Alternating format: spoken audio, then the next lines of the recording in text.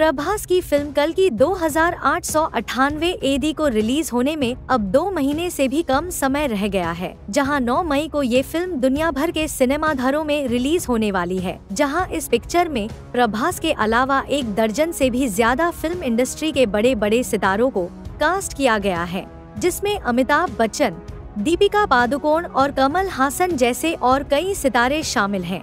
और अक्सर ही फ़िल्म से जुड़ी कोई न कोई जानकारी सामने निकल कर आती रहती है। और अब खबर आ रही है कि इस फ़िल्म के ओटीटी राइट्स खरीदने के लिए मेकर्स और ओटीटी के बीच की डील में बड़ा पेंच फंसता नज़र आ रहा है।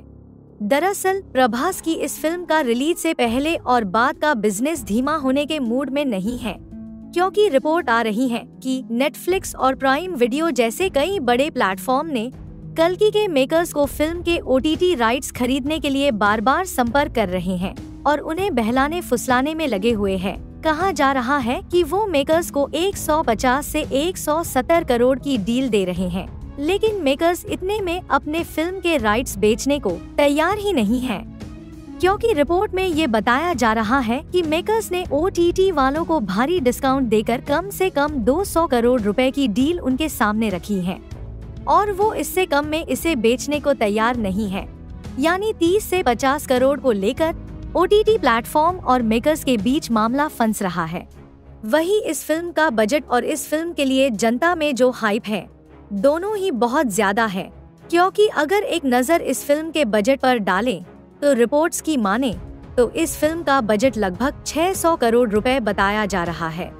जिस हिसाब से तो मेकर्स ने जो डील ओटीटी वालों को सामने रखी है, वो बिल्कुल परफेक्ट दिख रही है। क्योंकि अब हर फ़िल्म मेकर्स अपनी फ़िल्म के बजट का 50 परसेंट पैसा ओटीटी राइट्स के डील से ही निकालते हैं। इस हिसाब से तो कलकी के मेकर्स ने जो डील रखी है, वो तो बिल्कुल ही ओटीटी वालों के लिए फ़ायदे का सौदा है। और जहाँ फ़िल्म जब सिनेमा घरों से हटकर ओ पर दस्तक देगी, तब इनको यह फ़िल्म भारी मुनाफा कमा कर देगी। क्योंकि इस फ़िल्म के लिए जनता पागल हुए जा रही है। हालाँकि, अब फ़िल्म के राइट्स कितने में और किस प्लेटफॉर्म को बिकते हैं, ये देखना दिलचस्प होगा। फ़िलहाल, ऐसा कहा जा रहा है कि इस फ़िल्म के लिए प्रभास लगभग 100 करोड़ की फ़ीस वसूल रहे हैं। हालाँकि, अभी ऑफिशियली जानकारी सामने आना अभी बाकी है। बहरहाल, इस फ़िल्म से प्रभास को काफ़ी उम्मीदें हैं। क्योंकि बाहुबली दो के बाद उनकी कोई भी फ़िल्म बॉक्स ऑफ़िस पर कुछ खास कमाल नहीं दिखा पाई है।